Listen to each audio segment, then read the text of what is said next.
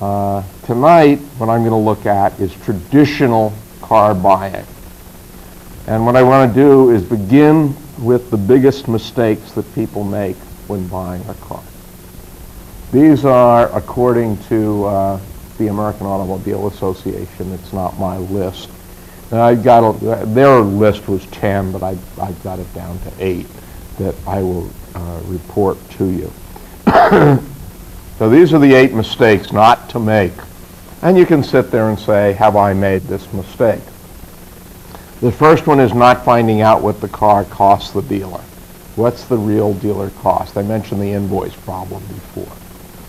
Uh, the second one is overlooking the miscellaneous charges. When you look on the sticker, there's all sorts of strange creative things that car dealers will charge you for. Uh, and uh, some people forget to work them in or take them into account. A third mistake is failing to ask about any incentives. Uh, just doing so on the last car purchase when I came back a year ago from Cyprus, uh, I got 2,000 bucks off because there was an incentive program. And uh, when I asked, they told me. Right? Great deal. Because I, and this was a very strange situation because I had sold my Saturn before I went overseas to pick up my new car when I came back uh, nearly a year later. And at that, even though we had signed the papers and everything, I, I asked if any incentives had developed, and he told me it was two grand off the uh, price. That, that was quick and unexpected and very pleasant. So uh, check on the incentives. Uh, you should know the, all the options, what's optional, what's standard, and you should know the prices for each option and all the variations on the, the options. Find them out. Fifth mistake, according to AAA, saying okay before you know the bottom line. You've got to know what the amount you're going to write on that check is. Or if it's a more traditional deal where you're, you've got a down payment and time payments and so forth, you've got to figure out the total cost of the car to you. Total cost. So multiply the payments times the number of months and add it to the down payment and the price of your trade-in. Uh, and uh, then you're going to know what this thing is really going to, what the bottom line is on this car. Another one I, I think is a very good point is not knowing how safe the car is. And I would add to the AAA list, or how likely it is to be stolen. Uh, my insurance company, uh, which we may, so, some of us may share, which is uh, USAA, um, sends out a, an annual report on the theft rates of cars over the previous year. So you can get some idea of which cars to, to avoid just because they get stolen a lot. Not a bad thing. But certainly the, the safety factor is a big one, particularly if you have a family. Um, seventh, uh, relying on salesmen to get you a good deal. Salesmen are always going to tell you how they're on your side and they want to make a deal with you and it's just their nasty boss, the good guy, bad guy tactic, who's preventing them giving you what you want. And, but they're going to go back and negotiate with their boss and try and get a few more bucks off for you. Well, what do they say? Don't you believe it? Um, they're not. Uh, comment from Lewis, uh, I got the best price online. Oh, no, we shared that already. Uh, sort of. He got the best price online, went to a local dealer, and they beat it by 200 bucks. Uh, different car than the one he mentioned earlier. Uh, again, playing people off against one another is, is a classic tactic. It is one we might reconsider when we get to the ethics. Um, yes or no? Um, the final one I want to mention is not researching your trade-in. A lot of people will go to a, a, a car dealer and they know everything there is to know about the new car, but they've forgotten to check what their trade-in is worth. You've got to know what your trade-in is worth. Uh, it, it can be an important part of the deal uh, unless you've driven the car to uh, absolutely to death. Uh, the car I traded in on the Saturn had been basically driven to death. It was worth a hundred bucks at best. Um, and in fact, after I turned it in, they asked later uh, if I was having any problems with it because they couldn't get it started. So apparently I got it to the dealer just before it truly died. Uh, although I'm innocent, I didn't know it was that. I thought it was, it was running okay. But it wasn't worth a lot. I knew it, but you gotta know what it's worth. It's absolutely vital. Um, now, let's get into the specific situation here of actually buying a, a new car.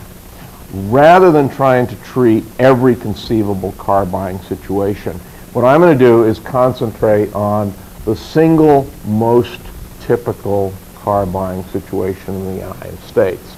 And that's, uh, that's simply the one in which you trade in one car to buy a new car with a down payment and time payments to pay, pay off the balance. Uh, I admit there are lots of other possibilities. You can pay cash for the car without a, without a trade-in. You can sell the trade-in on the street, as somebody mentioned her mother did. Was it Jan, I think? Uh, mentioned her mother did. There are all sorts of variations on this. If you're going to use the variation, you're going to have to adopt, adapt, adapt what I say to uh, your situation. But by concentrating on the single common one, I can go into much more detail in the time that we have left. So we're going to consider four phases in turn. The first phase is collecting information. The second one is, I'm going to call reconnaissance. The third one, planning, and the fourth one, negotiation. Now, if you think about this for a minute, what I'm really doing is dividing the preparation stage for a negotiation into three parts, collecting information, reconnaissance, planning, and then we're going to summarize all the remaining stages of the negotiation process in a, under a single heading tonight. In other words, the theme of this lecture is not just buying a car, but it is preparing for negotiations in general. Right? Uh, I, I do this at this time because I think the preparatory phase, which is discussed in the first chapter of the book, is really the most important in a successful negotiation. If you go in prepared, you can't be beat unless you depart from your own plan.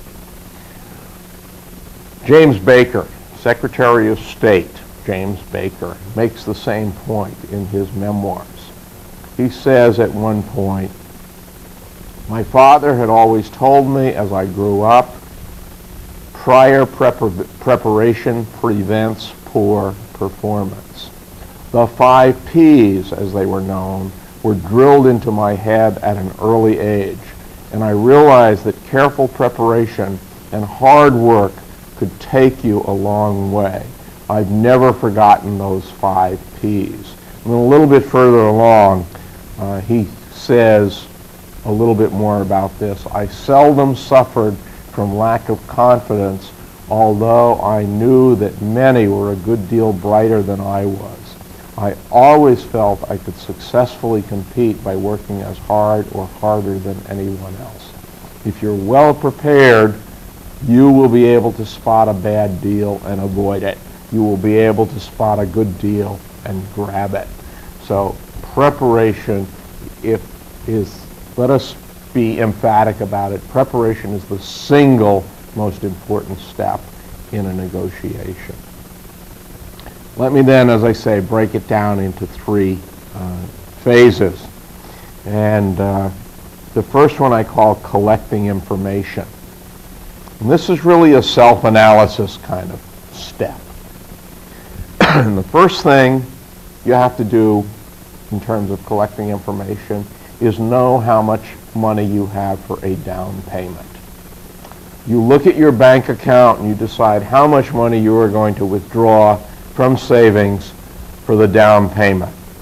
For purposes of the example that I'm going to use tonight, let us say that you decide on $3,000.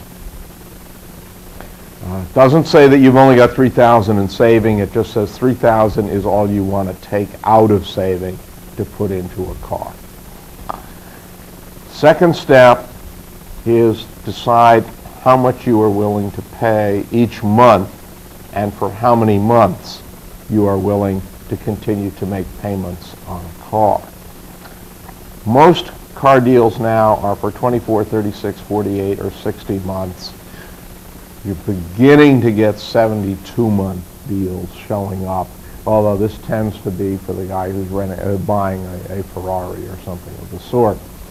Um, let us say that we are going after a very nice, modest uh, little car just for transportation to and from work.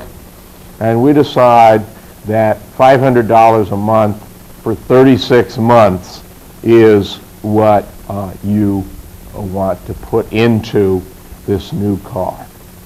36 times 500 happens to come out to $18,000 when you uh, multiply it out.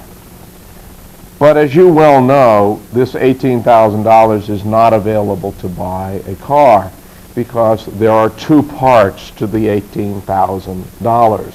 Part of it is, of course, the principal, which is going to go to buy the new car, but the rest of it is the interest you're paying on the loan.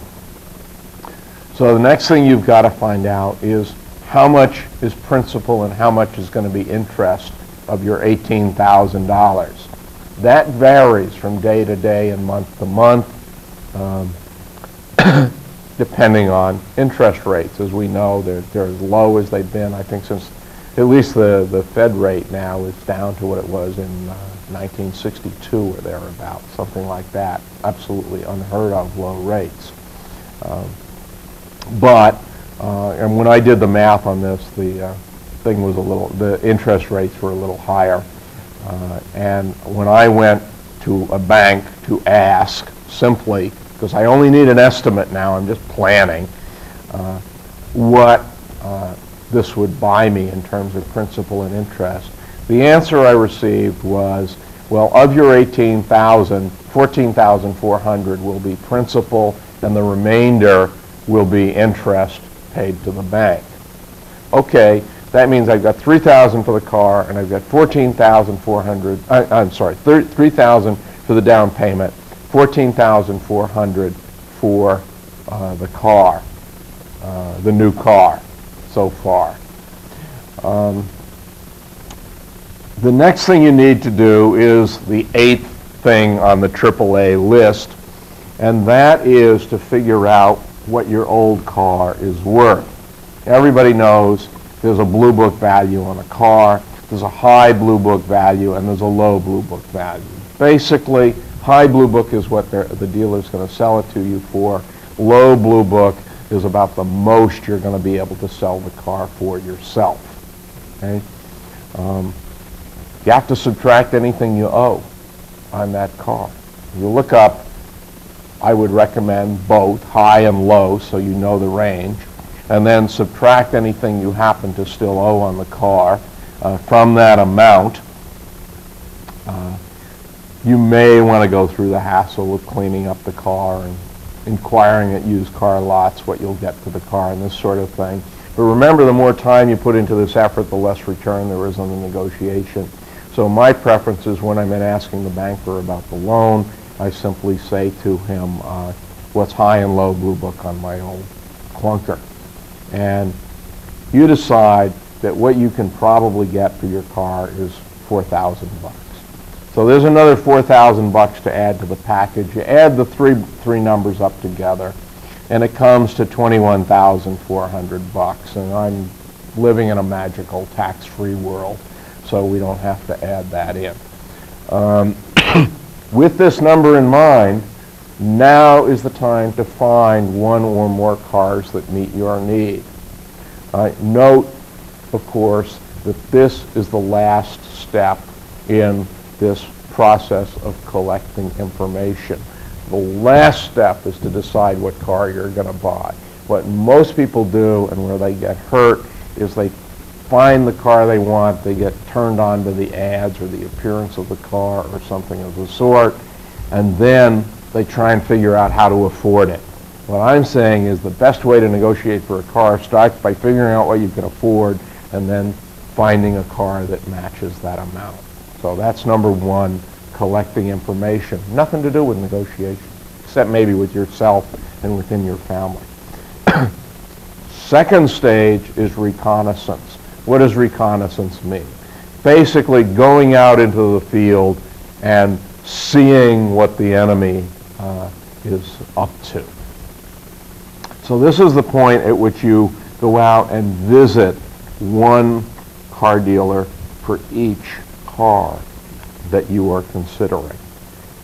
if you've got it down to a single car, a single manufacturer, then you've got an easy trip and you've got this efficiency thing going for you because you're not spending a lot of time.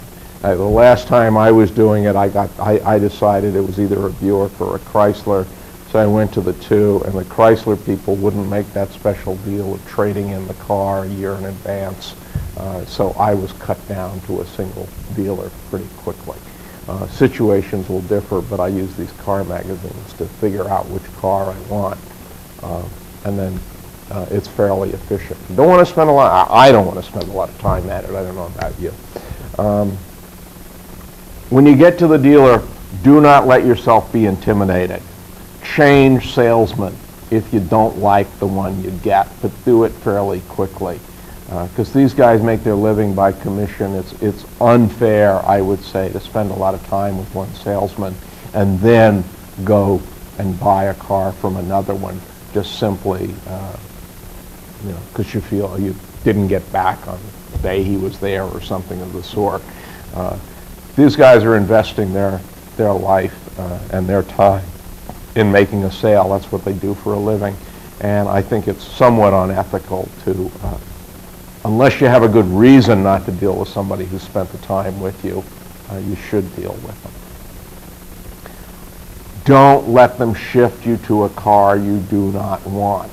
They're going to try and get you up from uh, the Century to the Regal or the Regal to the LeSabre or something like that uh, whatever the car model is. They want you to buy the more expensive one. Don't let them shift you. If you've done your research properly, they won't be able to shift you. This is part of this preparation stuff. Another piece of advice. This is a time where ambiguity is to your advantage. You want to be ambiguous about the price that you are willing to pay for a car. When you uh, go out for a demo ride, uh, this is maybe not under ambiguity, but uh, tell them you've got your own demo route worked out and you want to try the car under different circumstances and make sure you, you know, drive up a steep hill with the air conditioning on or something like that. Work out the, the demo route that you want because these guys have found a nice smooth circuit around their dealership that shows off their car very well without challenging it and that's the route they want to stick you to. Don't let them do it. Have your own route. Um, park the car and walk away from it. Don't look at it on the lot where there are 5,000 cars that look exactly alike. Go to a shopping mall or something of the sort. Park out in the back and walk 15, 20 feet away and see if you still like the look of the car from a, a reasonable uh, distance. We all know now that the salesmen have this song and dance, which may be right and may be wrong, I really don't know, uh, that they can't let you drive until they're out in the street. They have to drive it off the, the lot for insurance purposes. It pro probably is true, uh, given the way our liability laws work. But take advantage of it. If the car has a back seat, this is the time to sit in the back seat and try it out and see if there's you know leg room back there, see how See if you can hear back there or whatever else. See how, see how comfortable it is in the back. Um, you can even uh, tell the salesman to not to talk for a couple minutes because you want to hear uh, how the car sounds, this sort of thing. It's also wise to have a few pre-planned questions about the car based on the kind of driving you expect to do with it for the most part. Salesmen are trained in something called the car salesman. I guess most salesmen. They're trained in something called the assumptive approach. This means they're going to take you as far as they can toward the final sale the instant they meet you. They're going to, they got this step one, step two, step three, step four, step five, and they, they work through their system, and at each step they're getting you closer to deciding to buy then and now. But we're only on a reconnaissance mission, so you're not, not ready to buy, and you have to be very careful uh, not to go from the demonstration phase to the, the negotiation phase to the financing and signing phase uh, faster than you really want to. They're going to try. Uh, and that, that's fair. I mean, you're trying some, you're pulling some tricks too. They're, they're trying their own. You have to be prepared for questions like, if I can give you a good price, will you buy today? Uh, once they figure out what car you really want, the inevitable line is, boy, are you lucky. We have a special on that car this week or this weekend or whatever it is when you happen to be there. It's always a special on the one you want, right? Uh, these are questions that are intended to hook you into a commitment or, as I say, to see how far they can get you, go, get you to go in making a commitment. They're gathering information about you, but you're gathering information about them. Uh, I think this was, uh, was it Adriana who raised the question before about uh, how forthcoming you should, you should be. And I suggested information is valuable, be careful how much you uh, give out. So uh, it's fair for everybody to ask questions of one another, but you don't have to make it too easy for them to figure out where you're coming from. Uh, my tactic is be interested in but uncertain between two models. Now, I went in, uh, I always go in, and uh, you know, I, I don't know if I want the two-door or the four-door. Or I don't know if I want the Regal or the LeSabre. You, know, you, you at least have two, and be uncertain. Um, they're going to ask you, when did you plan on buying? That's an absolute classic question.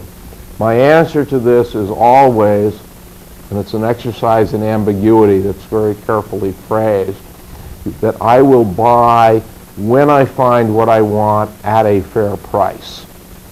This is an effort to tell the salesman that I'm a serious buyer, but I'm not going to be fooled or pushed the last thing I want to say is like, or is let what happened to Michael or me at one point. Uh, I don't want them to know that I am stuck in their little town without a car and I've got to get out today. Uh, or um, I've got to have a car by Monday to start a new job or I can't or I lose my job. Don't want them to know stuff like that. Don't let them know how much pressure you're under.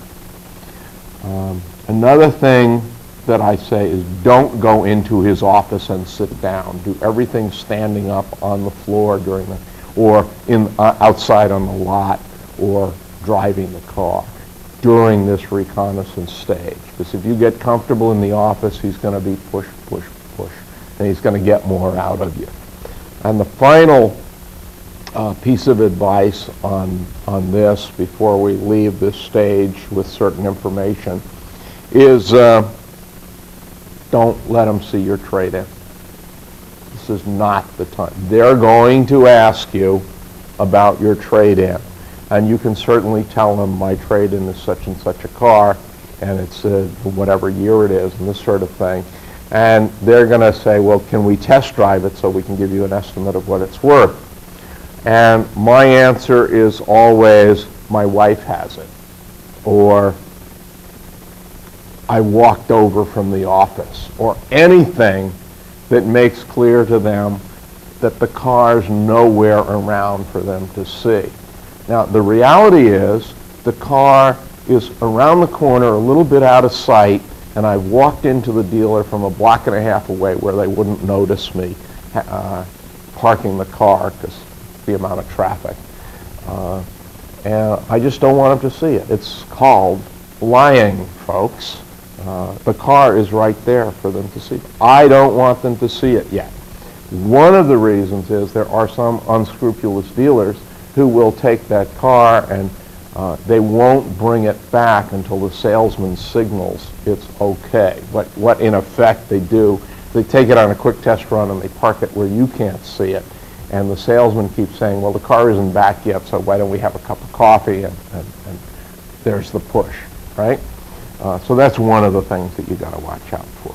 Oh, I'm just not ready to, to give them this information yet. Uh, I don't want them to see it. Uh, so I'd, I'd park out of sight. When I've got what I want, of course, I'm going to leave. But one of the things I'm going to do is I'm going to leave with the salesman's card that worked with me. And on the back of his card, I'm going to make the notes of any promises he made to me. Not a contract. I can't hold him to it. But by putting it on the back of his card, I've at least got it associated with his name. And uh, it, it helps to push the points uh, later on. Um, you also need detailed price information on the car you're about to buy. This includes the, uh, the sticker price of the car. You need the base price of every single accessory that you are going to uh, want on the car. You're going to want a separate price for the license, the preparation, the similar fees, and, and in reality, the taxes as well. You've got to get a good estimate of what, in effect, is going to be the salesman's first offer to you. That's what the sticker price really is. You also need the literature on the car, the slicky literature, uh, the glossy book that, that shows all the, you know, the, how fun it is to drive this car and all this sort of stuff. Uh, because in the back of those things is the useful information, which is the list of options uh, that you can get. No prices with it, but you've collected the prices off of stickers around the lot if you have to. But you've, you've collected that information on the ones you're interested in. And you've got a full list of all the options that are available, because it's not enough just to know the options that you want. We'll come to that momentarily. So you have all that information. It is time now to leave the dealer and to go figure out one way or another the most important single piece of information of all, and that is what's the dealer's cost on the car. You can figure out what the dealer paid for the car with the accessories that you want. You've got the information you need to make sure you don't make a bad deal. Because the only other thing you need to know is what's the average or typical profit uh, that car dealers have to make to keep their, their business going. There are any number of ways to get this information, and they're always changing and uh, updated. The old-fashioned way is to get a book. Uh, some of the books that you might get, and the absolute most famous of all, is Edmunds Car Price Buying Guide. The Edmunds publishers have published price guides for, I guess, the better part of a, a hundred years now. Uh, maybe not quite that long, but anyway, a long time. And uh, it, it's a great and reliable way to get good price information. You can also go to the AAA for the Car Buyer's Handbook. Uh, there are books that show up now and then, examples, uh, for instance, uh, James Borger, uh, well, there's James Borger's book, uh, but there's also a guy named James Bragg who has a book called In the Driver's Seat, The New Car Negotiating Bible. there's a guy named Jack Gillis has a book called, has something called The Car Book. this has information in it on uh, dealer strategies, and it's the one I know of that uh, compares lease versus buys. Uh, Randall Wilkinson is another one. Randall Wilkinson is another guy that's been around for a long time and keeps putting out information fairly frequently, or at least he was the last time I checked. And uh, he's got a book called How to Win the Car Buying Game, and it's a very modern book. It comes with not only with a video, but a worksheet so you can figure out how to, to win. You can also get information by phone for a fee. Some of the classic ways to do this, consumer reports, uh, auto intelligence, auto vantage. We'll put up the phone numbers of each of these in turn. But basically what happens is you call them up, you give them your credit card number, you tell them the cars that you're interested in, and for a certain fee per car, they tell you what the uh, dealer's cost is uh, likely to be, within some small margin of error, of course. Um, all of these are potentially uh, very, very useful. Some of them, like Auto Vantage, which is the one that's up now, will give you maintenance and crash data uh, as well. In other words, what does it cost to fix a fender bender and this sort of thing. So uh, some of them are very, very nice uh, in addition beyond the basic information that you get on the price of the car. Then, of course, we're in the age of the internet, and you, there are websites to do the same thing. Uh, you can just type car price in a, in a search engine, and you will get uh, results. But again, some of the classics, of course, are Edmunds, uh, www.edmunds.com. It's the same one that publishes the book. Uh, they have a website. Auto by Bytel has a website. Auto Web, Auto Advantage. Uh, KBB has comparative prices for you. Uh, there's something that uh, called Price Auto Outlet, which is very interesting because they specialize in cars that are coming off lease. So if you want to buy those cars, you can go to Price Auto Outlet. Um, and of course, you can always go to manufacturer sites, and it's always going to be www and then the name of the, the car company and, uh, and the com after it. Or for something like GM, there'll be websites for each of the, sub, the, the brand, you know, what Cadillac, Buick, uh, Oldsmobile, so on, down the line. Uh, so there, there, are plenty of ways to collect uh, this information. The challenge here, this, this stage, ends when you know what the car cost the dealer. That's the key information. You're now ready to go home and plan your negotiation. We're finally preparing because we have the information we need.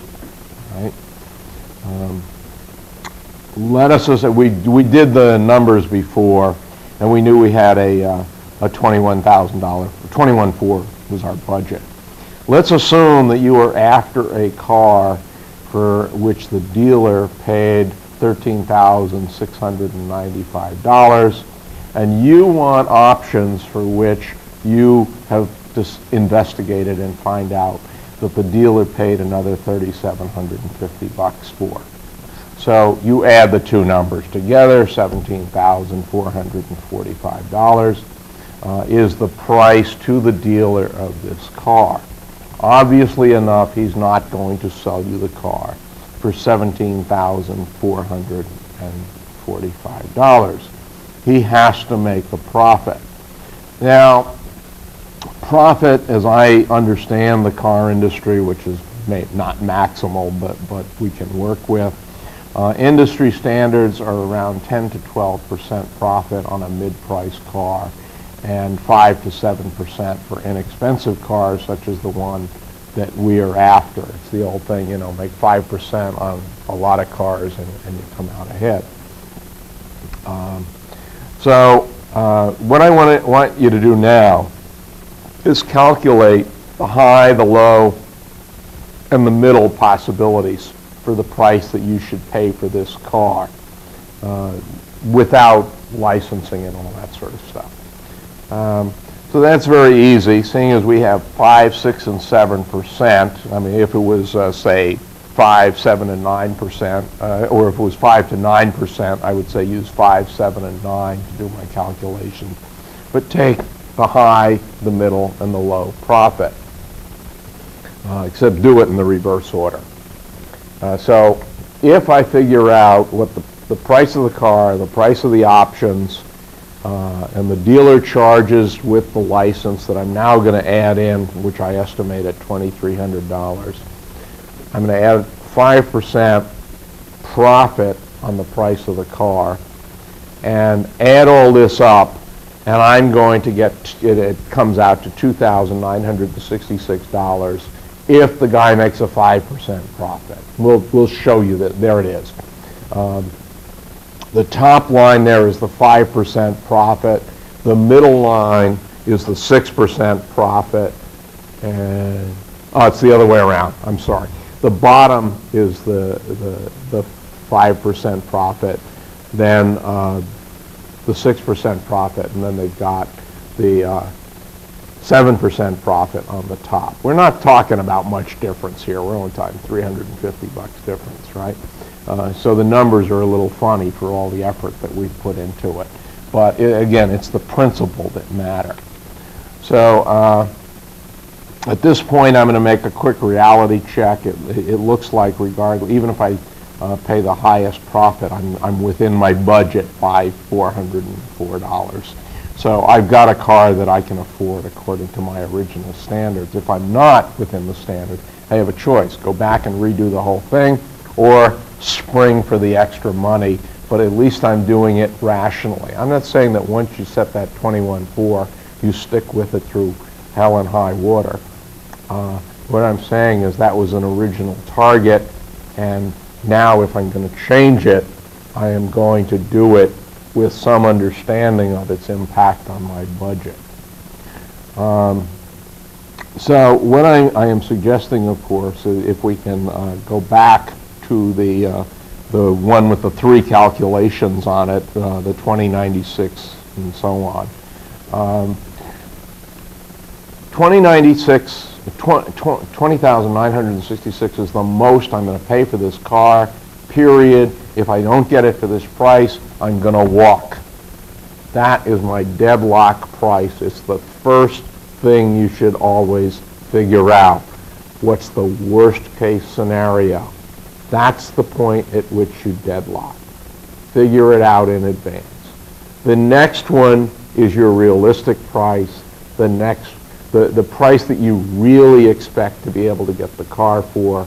And the lowest price is the optimistic price.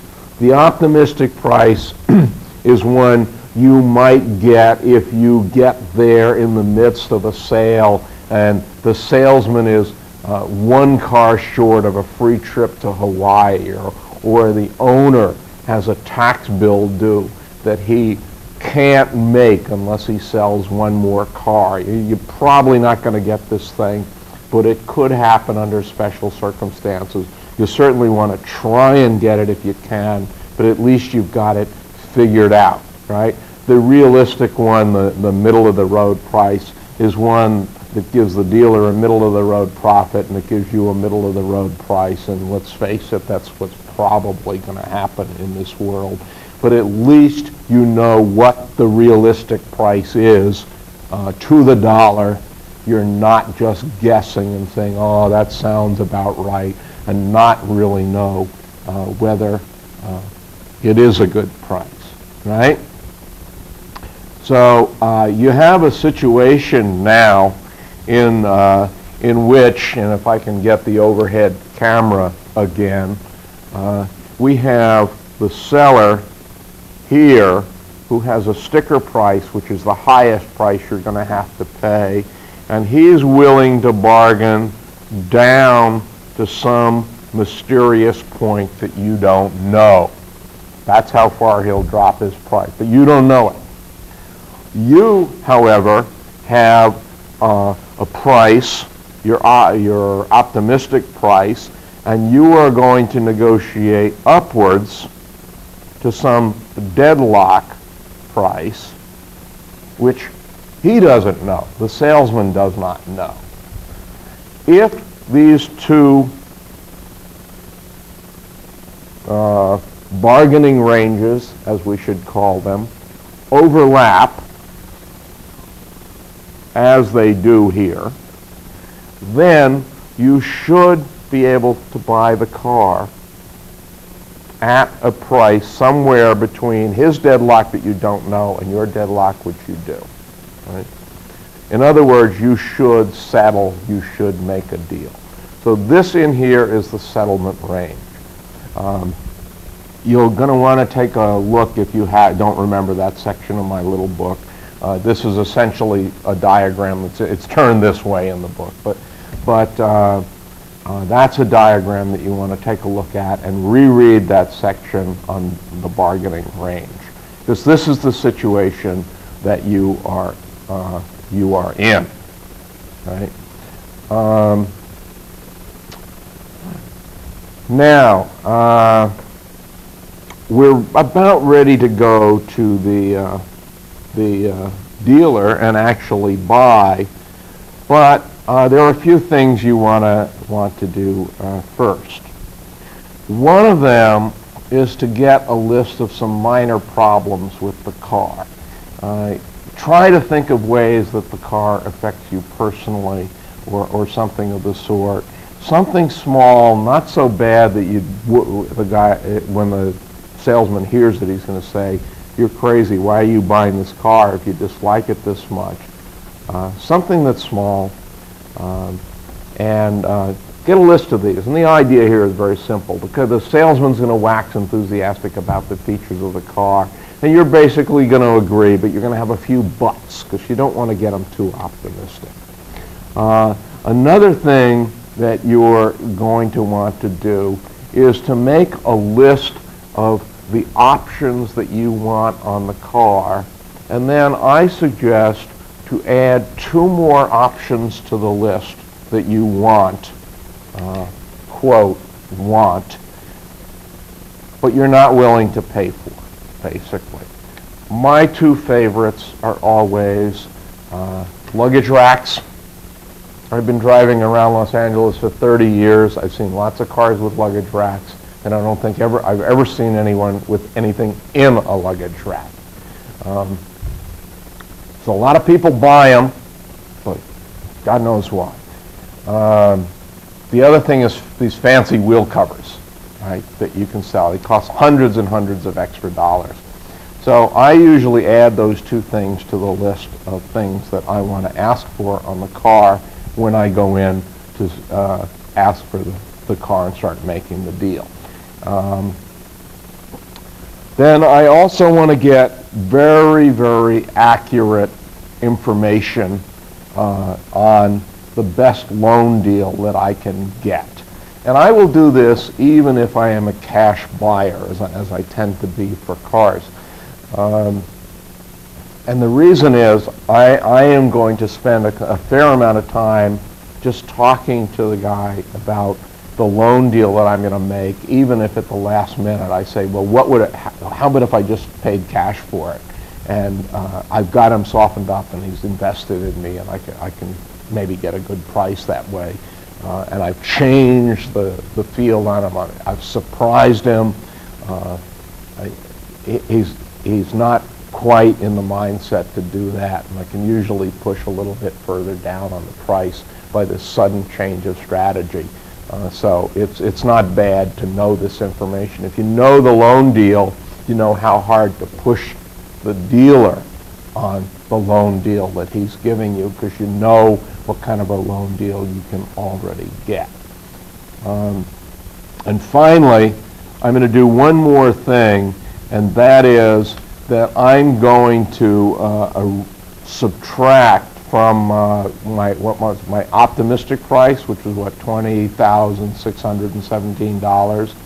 I'm going to subtract another 10% off that number uh, and then I'm going to round it off to something. So if I take 2067, it's 2061, subtract that, round it to some reasonably even number, and I come up with $18,250. And that's this number down here, uh, 18,250. I've got my deadlock here, I've got my realistic price here, I've got my optimistic price here. Those of you who have read my book already know that I call this the first price so that I come up with FORD, first optimistic, realistic, and deadlock price as kind of a mnemonic to remember the goals that I have. My, my goal is to set the mentality of the salesman with, with this kind of unrealistic price, just like he's done it, the sticker price, and then I have an optimistic price I'm going to test him on to see if there's special things happening, and then I'm going to really stick hard here as I get toward my realistic price, and then I might finally collapse to my deadlock price. But I have points, I have not one goal, but I have four goals for uh, the package. And this is how the preparation works. So uh, I'm ready to head off to the dealer. The question is, when? When do you go to the dealer? Well, my answer is based on the idea, of course, most cars are sold on weekends. And cars tend to be sold more at the end of the month than the beginning of the month. Right? Um, I want to stay away from the times when most cars are being sold because I want the salesman to be a little hungry. Right? So generally speaking, what I say is go on a Wednesday. The middle of the week, it's as far from the weekend as you can get. Uh, so Wednesday. When do you go? Well, it takes two or three hours to go through the whole rigmarole of, of buying a car. Let's say three hours. So what I want to do is go two hours before closing. Two and a quarter, something. I want to put them in the position of having to choose between closing on time or staying open and making the sale to me. Because if they close and kick me out, they're going to risk having spent two hours on me and have nothing to show for it. And uh, dealers will tend to hang around. That means the, the salesman's going to be working until 9 o'clock at night or something like that. Now, unless, of course, you're at one of these auto markets that are open 24 hours a day. But uh, that won't work, obviously. No tactic works all of the time. Uh, so I'm going two hours before closing time, just after I've had a nice light snack. Because I want him to be hungry and antsy to get home, and I want to be a happy camper with no concerns at all. I don't want to be sleepy or anything else, so I'm, I'm going to eat a light snack. And I'm going to be fine, and he's not. Uh, I am trying to put him in as disadvantageous a position as I uh, can. Uh, he's, we're going to go through all the rigmarole of the test drive and so on and so forth. And eventually, we're going to settle down into the office. And I am going to say, uh, or rather, the salesman is going to ask me, how much uh, down did you want to pay? Well, I know I've got 3,000 bucks, but I'm not going to tell him about the 3,000 bucks. What I'm going to do is I'm going to tell them I thought I'd give you my uh, used car as a down payment, 4,000, you know. Or, oh, and then the next question is going to be how much do you want for it? And uh, I know it's worth 4,000, so I'm going to say I want 5,000 or I want 4,500 or something like that and he's going to tell me it's only worth 2000 and we're going to haggle over the value of the trade-in once he recovers from the shock of my offering a trade-in instead of cash for a down payment. Uh, the price is, of, of course, of some importance, but not a lot. The important thing is you're making this guy spend some time with you. Reread the section in the book on acceptance time if you walk in and say, I'll give you uh, whatever it was, seven to uh, eighteen thousand two hundred and fifty dollars for that car, or you even go in and give you a realistic price, I'll give you twenty thousand, whatever it is, for that car. Take it or leave it. and you walk out, they're going to let you walk out. They're not going to chase you. They're not going to bother you. Who cares? You, you know, they've got no investment in you. But if you go through this negotiation song and dance, and they spend an hour or so with you, now they don't want to lose the sale. So what you're really doing is building a relationship and building a commitment between the two of you that says we're both wasting our time if we don't reach a deal. So a lot of this haggling has this effect. Uh, now, talk about how carefully you maintain the car. I've even pulled all the, I keep my uh, maintenance records. And I'll go in and I'll pull out, and I keep cars for a long time. Uh, I'll go in and I'll start leafing through these things, throwing repair slips around on the desk saying, I just changed the battery and I know the receipt is here somewhere. And yeah, guy doesn't care that there's a new battery in the car, but you do, right? Because you're making him spend time and you're showing how you took care of the car and all this thing. Um, another thing you're going to talk about is the size of your payments. It's going to be a separate topic. The, the salesman is going to try for high payments at a high interest rate, and then he's going to come down on it. Here's where knowing what the best deal you can get is really important. You know what the bank will give you. Now you can push them toward that limit. Again, you're making them spend time on you, and sometimes, rare, but sometimes they'll even beat the bank deal. Uh, that's great. Loans are very confusing You've got to be very careful that you understand how much is principal and how many payments there are and what the interest rate is and what this comes out to and how big a check or an electronic transfer you've got to commit to every month and, and then figure out the, the bottom line on it by multiplying the months times the payments and all this. Um, they do this math all the time. They do a boom and they, they tell you and you, you sort of dazzled and you don't want to admit that you didn't understand it and it was too fast, and you oh, yeah, yeah, yeah, yeah, yeah, and you, and you just accept it.